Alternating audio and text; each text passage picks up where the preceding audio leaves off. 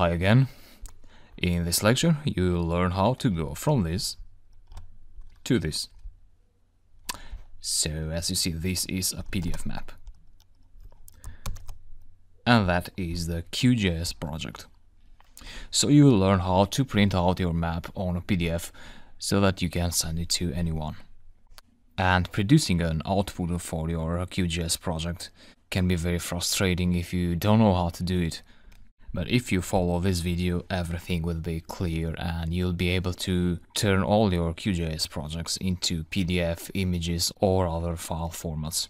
And the way this works is through the print composer. So basically you need to uh, create a composer object and to do that you can either go to new print composer or you can go to composer manager.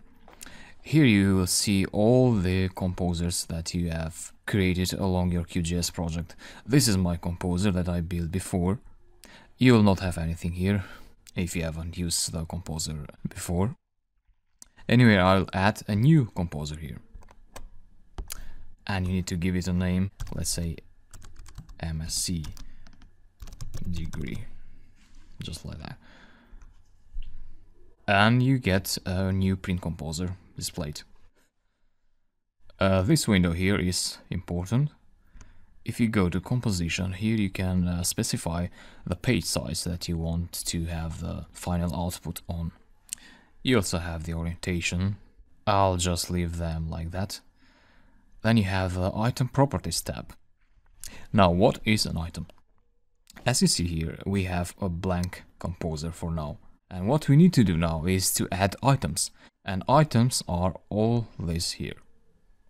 So you have a map item, you have a label item, you have a scale bar item. You can add images to your map. You can even add an, an attribute table of your shapefile and so on and so forth. So the very first thing you need to add to your uh, blank composer is the map item. So I click the add map and then you want to specify the rectangle area where you want your map to be inserted. That's it. So basically we got the view that we have in our QGIS project. So this is the QGIS project and this is the composer. Now when, when you add an item, like we added a map item now, you can modify the item properties in this item properties tab here. So you have quite a lot of properties, which I'll leave them like that. And I'll go and add a label. And you can use a label for many things. I'm using it as a title. So as you see, I have selected the label here, the label item, and I have the properties for the label item on the right.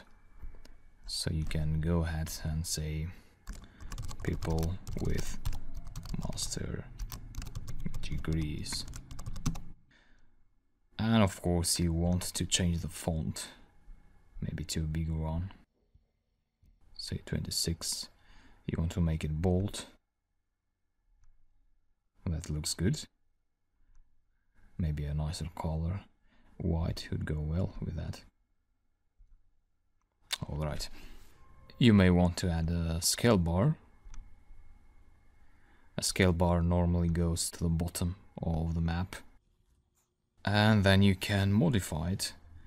You can edit its properties, but let's uh, leave its properties li like this for now. And then one uh, very important item is the legend. So the legend will allow your, your audience to actually read the map. Because these points for now, they, they don't make any sense. And the colors don't either. So you may want to put your legend in here. And as you see, we actually have too many classes in this legend. And the reason for that is that in the QGIS project, we actually had a lot of classes. Just here. So if you go to the properties of the polygon layer, you'll see that we had a categorized styling here. That will produce a value for each feature. So what you'd want to do instead is go to graduated and then choose master degree normalized and you don't want a precision of 4 so you only want let's say two decimal points. And maybe choose another color if you like. And let's say we want five classes, would be good. Alright, if you click OK, now you see that your map changed.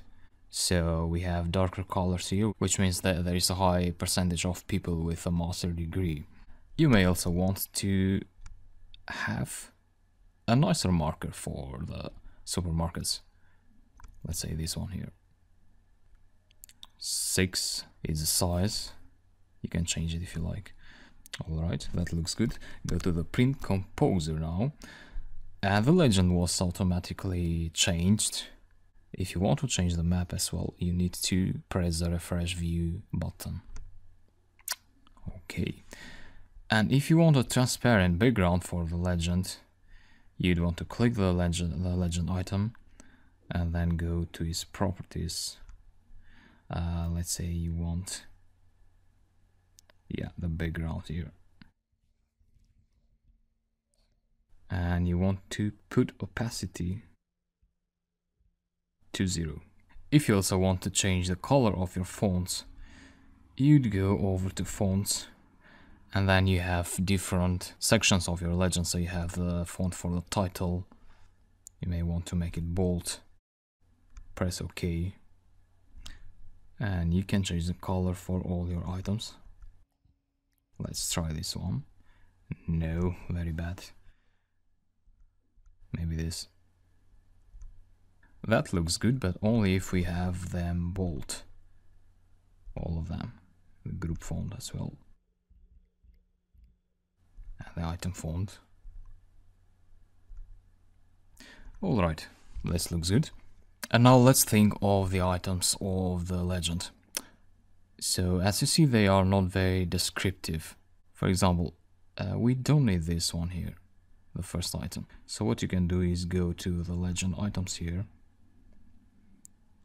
click on that and click the filter legend item and that will disappear. You also may want a descriptive text for the number of people with, with a master degree, so you don't want this to be something. So to, to change that, you need to go to the print uh, to the QGIS project, click on that, and go to rename. And say people with a master degree, and specify that this is a ratio, and that will be automatically updated in here. Alright. If you want to change the position of your map, you go to move item content and then click on the map and then you can drag it like that. Here would be good. If you want now to focus on, on another item, you go to this button here. Okay, and let's say you want to move the legend like that here. If you want to zoom out, you may want to change the scale. So at the moment you have a scale of 1 to 8400 almost. If you want a more zoomed in map you'd uh, want a smaller number here. So let's say 8000 and you get zoomed in. So if you say let's say 1000 you, will have a very zoomed in area on the map. So this looks good. In the map that I showed you things looks a bit different but you get the idea. If you want this white and here you can just drag it and then go to the properties you know font color make it white. So it's very easy to do. Then after you have finished with your composer you can go to these buttons here and you have different options to export your map to. So you have a, an image option you have uh, a SVG and you have PDF so just go there and specify the name of the map and wait a while. And your map should be here. That's it. So that was how to make maps out of census data. I hope you enjoyed this and found this useful. And if you have any questions just feel free to ask them in the discussion board. Thanks a lot